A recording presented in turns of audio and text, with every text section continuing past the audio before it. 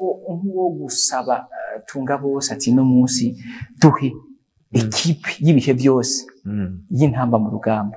Twokwita ekipe type Mm. umumenyereza ni day imenyereza abakinyi icumi mwigore twoshira yone uhereye ku mumenyereza nuwahe umumenyereza yoba umumenyereza w'ibihe byose?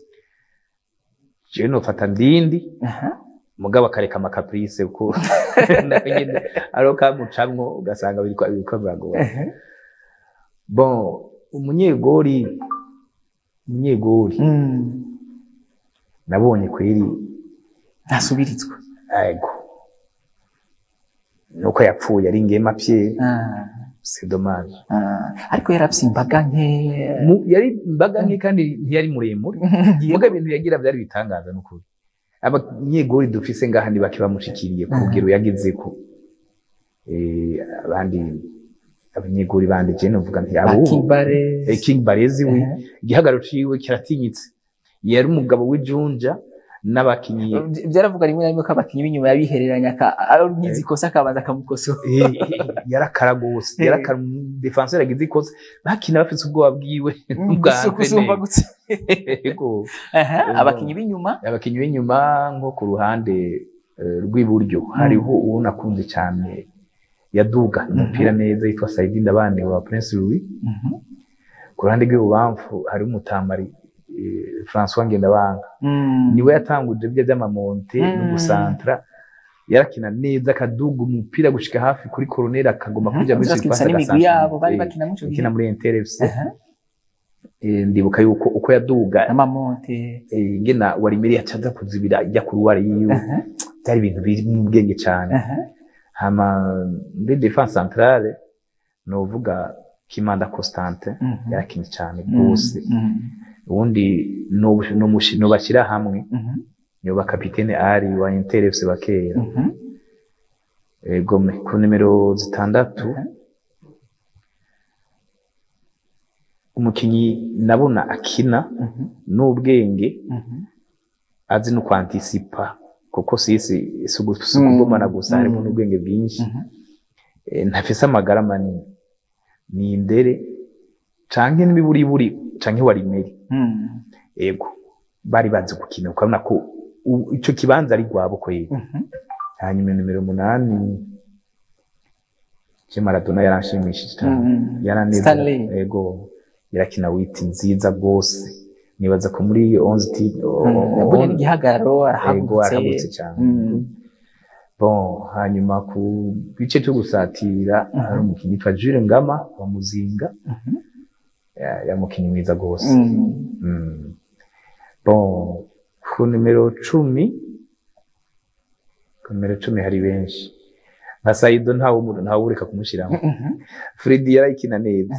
Bon ariko tugomba umwe wenyine umwe umwe ni. Mhm. hanyuma ku ruhande rw'ibubamfu mu foyeriye mbona abonye aha ni marike yego hasi ni marike kuko yarakora ibintu yaratinya kugwa mu byondo impuzu mayo yiwe uko yinjiye nuko yatahisa atari umusizi ibyondo gusa Eh, mugabo ibyo by'ukuyangaja mugira sekane atembagare mu biziba wapi ntabyakunda hanyuma ku nimero icenda umuntu yatsinda cane hari indere w'amanyama fantastique Mhm. indere yari yari umukinyi adashoboka Mhm. kuri nimero nefu yari igitangaza Mhm. jewe mbona yuko muri kahise gushika n'uno munsi Ah, nta wundi mu nimero nefu twamugereranya nawe oya Mhm. abona igori Mhm. Atera n'ingoga kandi mu kanya gasa naho wugurura akantu kagutya akaba yarashe. Jewe mbona muri muri iyo liste y'uwanje novuga indere indere wamaniye yakina amanyama no muri Ni nk'abanga nka batatu bo- bosubirira abandi tuba twa- tu- twashizemo kuri nko ku nimero icumi Mhm. nk'abantu uvuga ati aba nabuze aho ndabashira mugabo Blaise Karorero nabuze aho ndamushira Blaise Karorero nukuri ya mukinyi mwiza cyane rwose Mhm. Freddy ni umukinnyi mwiza cyane hanyuma kuri nefu naho nyine baruzuye hariho nka Karume yatsinda ibitsindo Mhm. byinshi cyane papa wa wa mukobwa kina Eh, basket na Eh, ari se Amerika wa dada hanyuma hakaba na ntuze ah, ujya ujya wironje yaratsinda ibitsindo byinshi Mm. cyane. Mm. yarazi gutera umutwe yarazi gukina akaba nitwa Rusegura Patrick Aha. Harya twarigize abakinyi bamwe b'igitangaza. Rusegura ku icenda yarahuma. Eh, abakinyi ngabo umumenyereza wamuvuzi umuperezida w'ibihe byose wa FFB ni abaciyeho benshi uhereye kuri umuntu hari n'abandi ba- bakoze hari n'abandi bazanye akanovera umupira w'amaguru. Urabazi kubadusumvya ubona yuhu ibihe byose.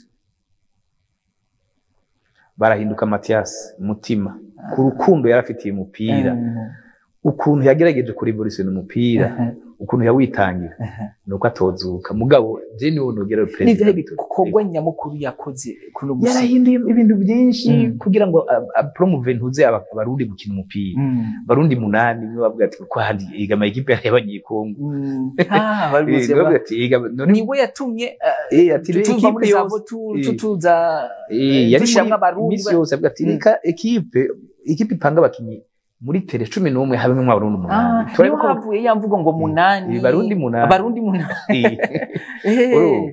Eh, urumva yari umuntu nyine agomba agira ati ni byo umupira turiko turawumenya mugabo Mm. ntawukina n'abanyekongo Mm. n'aba- n'abanyamahanga Mm. none umunsi mu mategeko yihinduka barundi nyezina byogenda gute ni we yatumira zirya za tupisa amazembe za vita za imana imana ariyo vita club Mm. zikaza ngazi zidutsinda icenda cumi na bibiri cumi. Ati reka twige nuko nyene biza Mm. bigenda bigabanuka buke buke ni ukuvuga yari umuntu w'umurevolutionnaire muri football yatwaye imyaka sinibuka imyaka kuko na jewe nari muto. Nari muto. Mugabo uravuga ati uyu ni we mu perezida w'ibihe byose. Yego kabisa. Hanyuma ku banyamahanga baciye hano Mm. ntibagirwa ico ni iciyumviro c'iwanje Eh, icyizere n'ubundi ni wewe. Mm. ku banyamahanga nabo baciye hano. Mm. eh, bakiniye za Prince Louis za Manyema za Vitaro. Batakiri mu giserukira gihugu mugabo ntibagirwa ariko bagize icyo baterera mu mupira w'amaguru mu ari bakinnyi abakinyi eh, ari abakinyi nka batatu bane amazina yagumye mu mitwe abantu.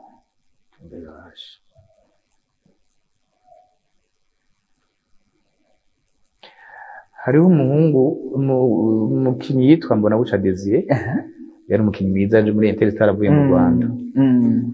hariho umukinyi yitwa Risara Tanganyika kinyi muri Interfc yari Mhm. umukinyi Trezere gakina neza cane. Yaradushimisha twese no kuri muri Interfc yari umukinyi kizigenza. Mhm. bon abandi novuga eh, neza cane bava hanze Mm. ndabona Kimanda Constantin Mhm. nahavuye akina eh, migara Burundi. Kimanda Constantin ni umukinyi yaje ava muri Congo yabaye umukinyi emblematike w'igitangaza Mm. yego kabisa yazana umupira defense nziza tutari bwabone kenshi